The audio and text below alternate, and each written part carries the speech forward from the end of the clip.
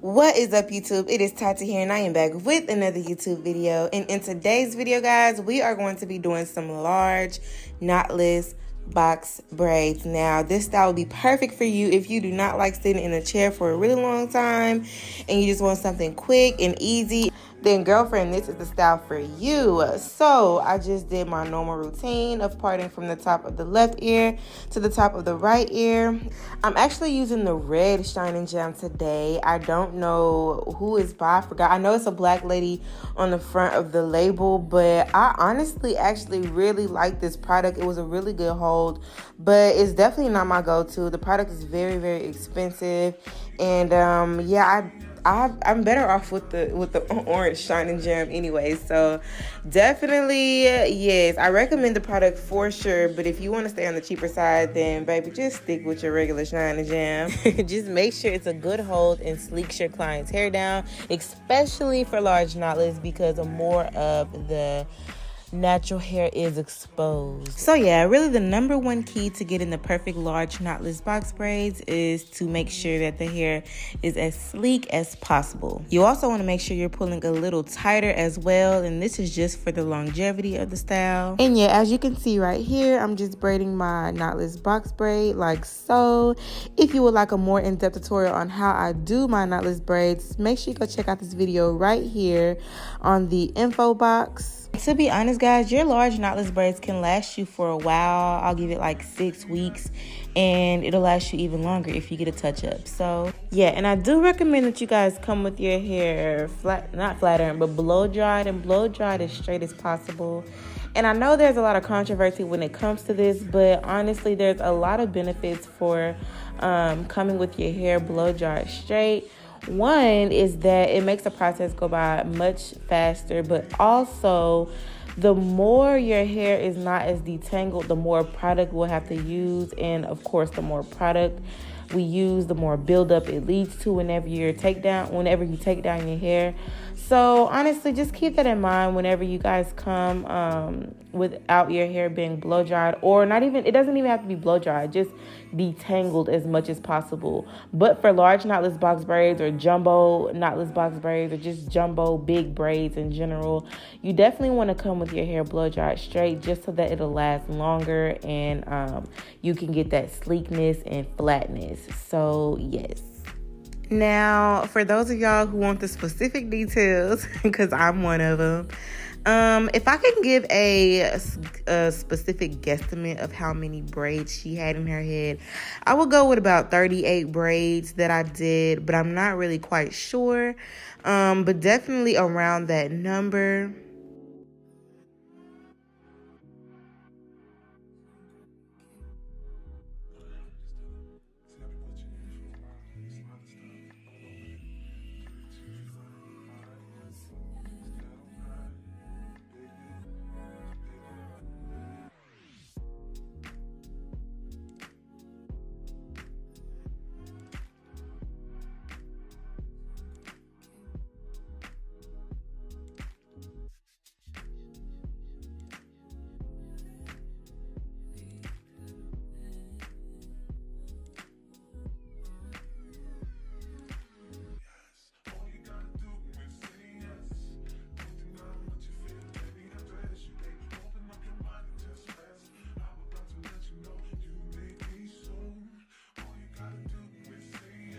All right guys. So this is how i parted her hair at the top part. I definitely like to pre-part this area and make sure i have the parts in line because it definitely helps me with getting the parts even as possible.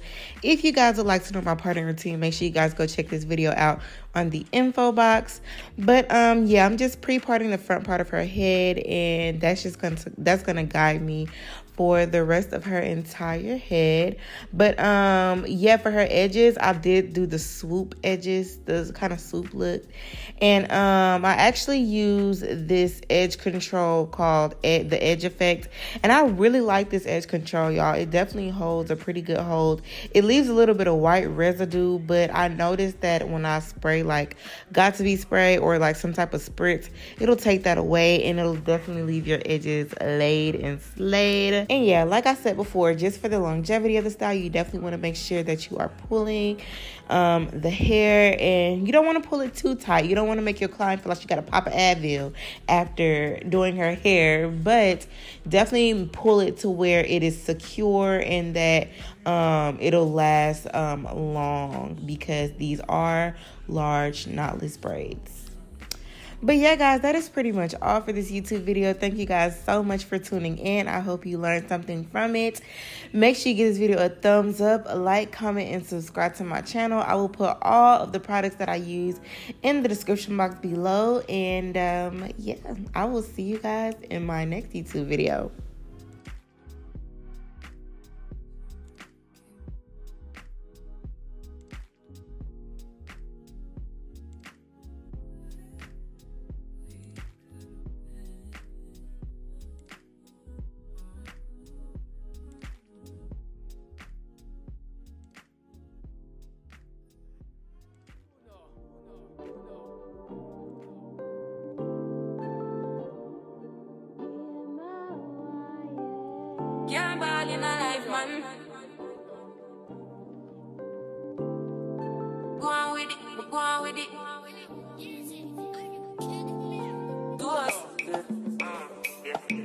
We are coming with a force, yeah.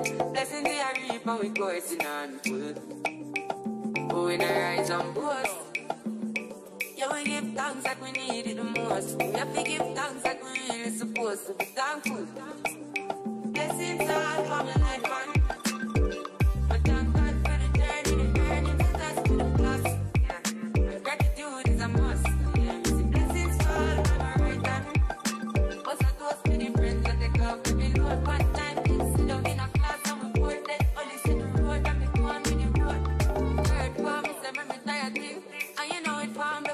Fire thing. Now up on stage with credits and you sing, yeah, Jimmy, I'll dig it soon, get the iron ring like hello, brother. Say, I just saw down. Saw you post the spectacular photo. Keep it burning, yes, that's the motto. If you need a butter, pass through your soul. Yeah, man, in